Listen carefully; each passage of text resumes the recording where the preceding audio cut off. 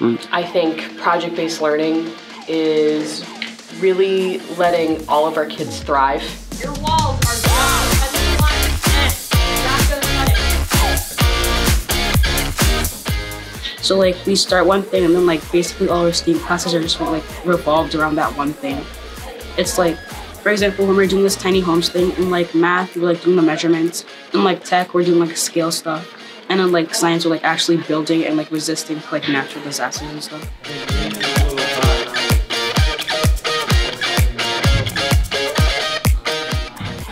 This project we had some setbacks and other things, but it was mostly really fun because we actually could do something hands-on instead of just doing your normal like assignment in class.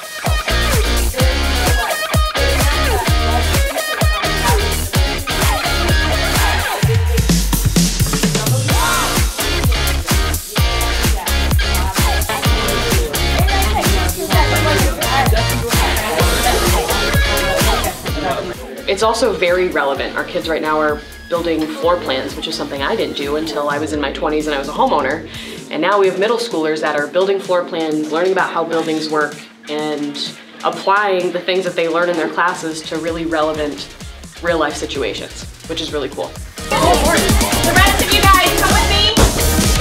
Come with me. If you don't have a spot right now, we'll go to the next room, okay?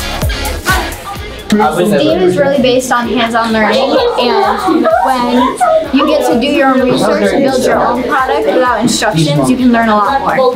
This is this is the picture, right? Yeah.